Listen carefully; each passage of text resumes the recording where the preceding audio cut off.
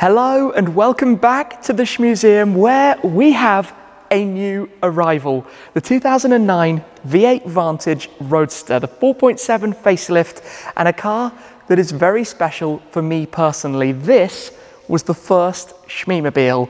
I bought it back in 2010 when the car had 3,000 miles on the clock. I owned it for about two years and sold it when it was up to 19,000 miles. Well, fast forward nine years later, it now has 31,000 on it, but I've bought it back. It's rejoined the collection. This was my first proper sports car. It was my first car that ever really featured on the channel as a Shmeemobile, a name that came from you guys. The first car that I was driving when I filmed a video to the camera. It was the first car I took on a road trip to share the adventures. It was a car that had serious memories for me, some very special moments. And after nine years, the car kind of found me and now I've bought it back. It's rejoined the collection. It was the inspiration for purchasing the GT8 back, well, almost five years ago now as the final version of this. It's a very pretty thing. And today we're going to have a full induction tour. I'll take you through all of the ins and outs of this particular car and some of the things that need to be done to it. Some of the restoration work that I think we'll be doing here on the Shmuseum channel to bring it back to its former glory as a permanent car in the collection, a very special and significant car, as I said. But let's start then, let's walk around it. It's a very pretty thing. This generation of the V8 Vantage from Aston Martin was really a big part of saving the company at the time. Following from the DB9, this arrived and the world basically went, wow, that's a beautiful car. And even today, it's a timeless design. It looks magnificent. This is 12 years old. You don't look at it and think that's a 12 year old car, but the way they shaped it, the traditional Aston Martin grille, the bright option actually that this car has with the eight slats, some of the later cars then went down to six slats, but I remember that being one of the factory options against the glacial blue paintwork of this. Quite a rare specification for the car, but a wonderful paint colour. And in fact, a paint colour that really triggered the branding of Shmee 150. Light blue has always been one of my favourite colours, as has purple, but this was where that began, what then went on to be the different wraps and then the cerulean blue paintwork with McLaren. But glacial blue here on the Vantage, if we come on round, we've got the massively multi-spoked wheels. I remember they were always horrible to clean with the silver calipers behind them, but a symbol of it being the 4.7, the facelift, you could tell through the new wheel design. The tyres, we're going to have to do something about. We'll get to that in a moment. And then the contrast of the interior. It is such a beautiful interior with the sandstorm leather, the cream mixed with the navy blue for the dashboard around the doors, even back here on the buttresses. If we come round towards the rear of the car, it's such a lovely design. And I did think back at the time when I owned it before about changing the tail lights and making them clear instead of red. It was an option, you could change them, but kept them red. I think it fits more in keeping with the time, the period of the car, wearing the Aston Martin badge, the Vantage badging back. It's such a lovely thing overall. Really, really a special car to begin with. Now this, as I said, is the facelift, the 4.7, which meant that it had 420 horsepower. The original car, when it had launched back in 2004, had 400 horsepower from a 4.3 litre engine. It also had a few upgrades to the interior, and I want to go and pop open the bonnet so we can take a quick look at this and see the inspection plaque that it wears up front. So just down here in the passenger footwell, he says, there we go, give that a pull, and we can come round towards the front. I think the catch is right in the middle, he says. Yeah, there we go. Always beautifully presented. 4.7 V8. The era where you could see a lot of what was going on, the support braces that run over at the top, and then the hand built in England final inspection by Simon Ward, the man responsible for this particular car when they do the shakedowns. And you might remember what we did with my GT8 with Dr. Andy Palmer at the time. But a very, very pretty engine bay in keeping with the car. And most of these were ordered always in silver or darker, you know, discrete colors, we could say, not bright color schemes like this. So this, when I saw it advertised, it stood out instantly. And it was, for me, it was just, it had to be that car. It was, it was not even a, a choice back then. And similarly now, exactly the same. It had to be this car. You might be wondering about the number plates. This is the private registration of the person from whom I have bought the car. It's going to be changing. And in fact, let me just grab this for you quickly. It's going to be 87 TB, bringing it back. You have no idea how many of you guys ask me what happened to the 87 TB registration. Well, here in the UK, when you take a plate off a car, you can put it on what's called a retention certificate, keeping it for 10 years, which you can then extend to one day in the future assign it to another car. So this, of course, came off this car. It went onto the 12C. It was on my 650S Spider. Then it was on, well, sorry, I had the R8 and then the 12C, then the 650, then the 675 LT Coupe. But after that, it's only appeared since on the Shmini, my classic Mini that I owned briefly. And I've always been wondering, where's it going to go in future? It's going on this. It's going onto the Vantage Roadster, very much in keeping with what it was like when I had it at the time. And on this plate, which is just an example plate, we've got that quote, car spotting is not a crime. That was where it all began for me, car spotting. So I think that's going to be going on. We'll get some new ones made up because this is old and pretty scratched and beaten up. But that's going to be the plate that it will wear. We'll take this one off and I'll, I'll send it back to the, um, to the original owner when I get the paperwork back through for that. Now to run through the interior a little bit more, let me open up this side for you. I'm just going to head round to the other side to show a few things about it. A lot of people, even back at the time, said that the steering wheel looked slightly out of date. Of course, homologation for steering wheels, you can't do all that much with it. But the 4.7 had this completely refreshed waterfall, as Aston Martin call it. You have the navigation screen that folds up here. Very out of date, you don't want to know about that. Down here, though, You've got your selectors for the reverse, neutral and drive. The key, the emotional control unit goes in here. Your comfort and sport button. You've got your multimedia controls.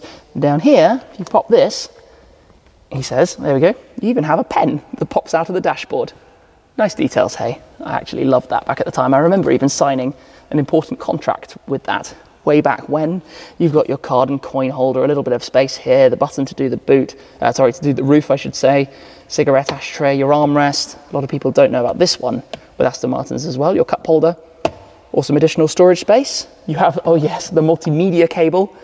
That's the age for plugging in your audio devices, no USB or something like that back on this generation. A storage cubby back here, which I always found remarkably useful for things like gloves and a scarf for driving when it was cold, or for dumping a video camera if you want to have one always available. So back in the car spotting days, there was always a camera living back there, and then a bit of storage space that you have actually in front of the buttresses as well. And it's such a clean design because even when you have the roof up, which we'll do shortly, this part is actually inside the car. So you have some bodywork, body colored section back here on the rear deck lid inside, which looks really very, very nice. And it was a great Grand Tourer. I mean, back here, there's a lot of space. You can fit a couple of wheelie bags. I think the previous owner had some bespoke floor mats made, but you can maneuver some things in. It does have, or it would normally have a wind deflector that would attach onto these hooks, but I don't know where that's gone over the years. We'll have to work that one out.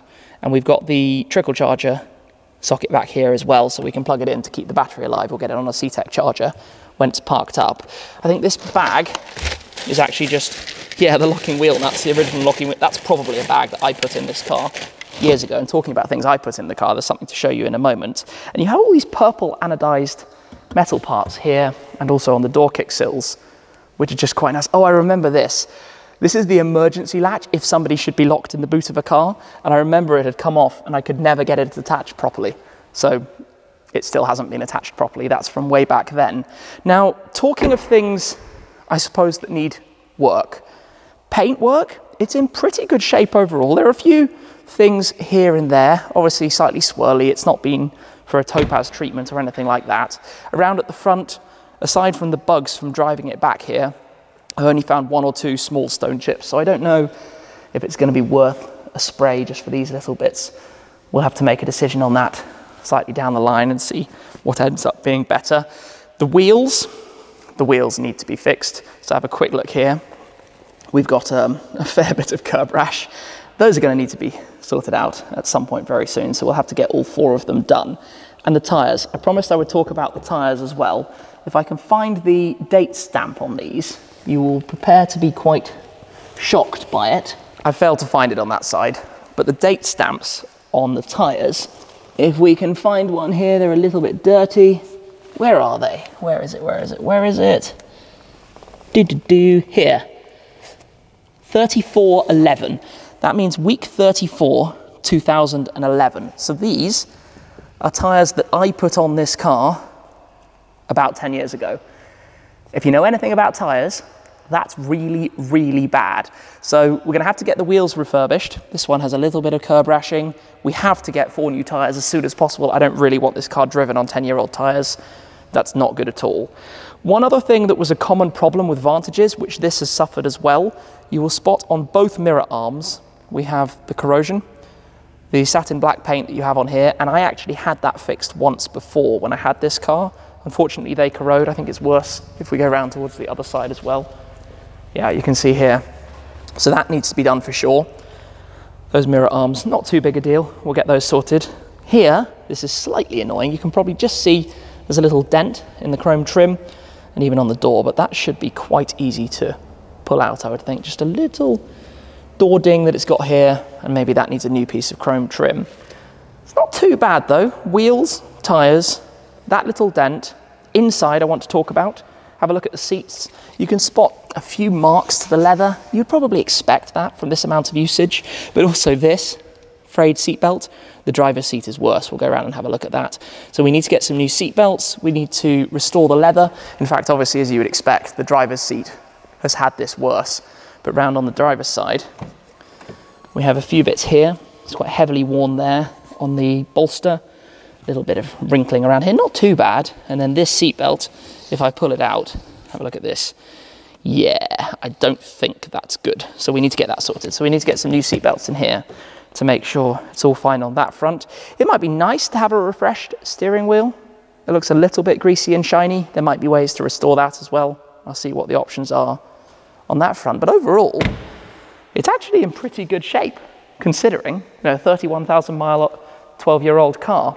Now I want to show you a few more of the things that I've actually got down here as well. So we have with this, the two valet keys. These are again a bit worn. They're actually a standard Volvo part. They go into the same center console. I guess they're the ones you give to the valet and don't worry about. And then you have the ECU, the emotional control unit, which had a chip on it from the first owner. That was actually chipped when I picked up the car. And I remember when I bought this car, how disappointed I was that that was chipped. But they cost back then, I think, about a thousand pounds for a new one of these, about $1,500. So yeah, I'll have to see if I'm going to replace it or leave it as it is. And that also has a little leather pouch that it goes in. So we'll keep that one at home looking nice. And these will be the ones, or one of these will be the ones that get used. We also have here the backup key, um, which actually isn't part of this because it uses the ECU. There's no key in that. So on this one, that is a Bentley Broughton's tag because I bought this car from Bentley Broughton's which is now on the same site as Lamborghini Pangbourne, where my Huracan STO is coming from. And that's the same site where I bought this car back in 2010. That is crazy. We also have the usual bits that you get with a new car, the tracker fobs. We don't use those anymore.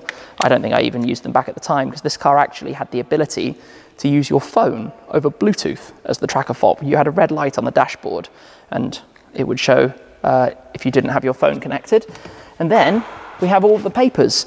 And the fun thing with all of the papers and documents, which obviously have names and addresses, so I can't open all of those, is that I obviously gave the documents that I had for the car to the person who bought it from me, who gave them to the next owner, who's now given them back to me. So we've got the full Aston Martin service history. It's always been to main dealers, which is great. It's got that full annual service record, everything that a car like this should have, all of its MOT checks, which is the annual roadworthiness test that we have here in the UK. So we've got all of that, which is again, really, really nice. What I do want to do though is just start it up, show you the roof. So we'll take a quick listen to the noise, although before that, come around to this side so I can show you on the dashboard, because when you put the key in here, it does this very nice message, he says, 31,193 miles now. Pop that in, power, beauty, soul, Aston Martin. Lovely details. But let's take a quick listen to this. Just wake it up, obviously a little bit of a, a slightly older car. Still sounds the part. But let me do the roof. If you take a look at this, watch the process and how that works. The deck lid opens towards the rear. The roof actually folds up pretty quickly. You can do it while you're driving. Deck lid folds back down. The roof goes into place and it's navy blue against the glacial blue as well, which just makes for a really nice contrast. Windows go up. To save it getting too hot in here we'll turn it off, but it's a really elegant looking thing, I think. And like I said, the view through this rear window, the way you can see that body part on the deck, smart. Obviously, Soft top convertibles never look as good roof up as their coupe equivalents. Same story goes for the Vantage, and obviously the GT8 is the coupe body style, which has a nice sloping rear, lots of luggage space back there, a lot more than the Roadster has. But this is an elegant car. This was an elegant time. This was Aston Martin at their best, making a car that was beautiful in its design and its appearance. And I also notice we've got the original tax disc holder. So here in the UK, until probably five or six years ago, you always used to have your annual tax disc on display in a car. Now it's all done digitally. I probably put that in it back then as well. So that's nice to see. I remember that these used to wear away, but they actually look quite good, those vents on the bonnet. They could look certainly significantly worse. And I need to work out what's going on here. I think when I put the plate back on, I'm not going to be drilling it. We'll sticky pad it on so it holds a little bit more neatly. You've got the parking sensors down there too. So yeah, it's back. It's a car that, like I said, the first time I ever made a video talking to camera was, hi, I'm Tim, or Shmee150 as you might know me on YouTube, driving this in Parliament Square as the bells were ringing at Big Ben. I'll never forget that day, I'll never forget that video.